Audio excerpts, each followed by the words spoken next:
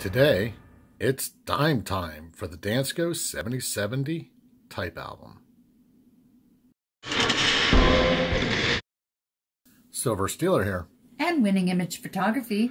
So it's time to put some dimes in the Dansco 7070 typeset album.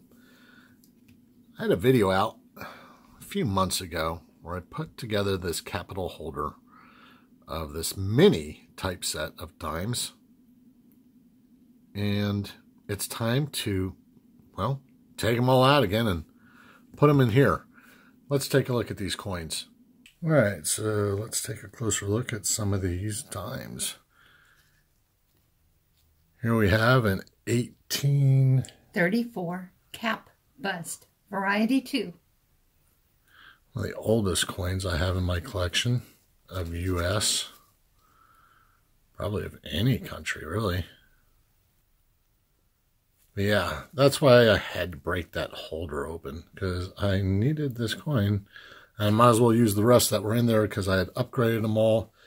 Next we have a winning 1891 Liberty Seated. Nice. I like these Liberty Seated dimes. Very old. It'll fit in that typeset nicely. Then we have 1909 Barber, also known as the Liberty Head. Liberty Head.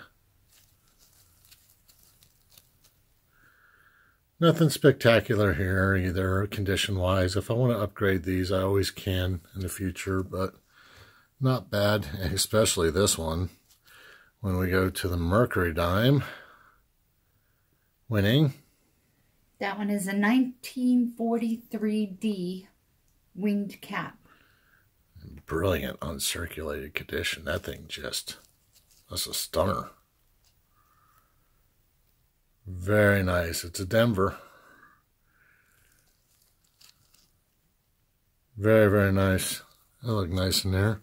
And then what? Just a 1964, 90%? Denver. Denver as well. Yeah, maybe one day I'll stick a proof in there. Which, one of the holes in here, what, goes for 1965 clad. And I thought, well, you know, it still has 10% copper in there. So why not throw in, what year is this? 2010. A 2010 proof, as you can see. I thought, you know what? It's still clad. Still got 10% copper in there. So in areas where I can just take advantage of some of the silver I got and adhere to the rules. Am I adhering to the rules? I don't know. Write in the comments below. Would you just put a regular clad in there? Or if you had one of these just laying around, he's like, okay, I got a home for it now. Well, I'll show you them all in the book here in a second. So here they are in the book. We did some damage to those last two rows, didn't we? Yeah, there's only two left. Nice. So, a few more into the Dansco album. I'm slowly making my way through here.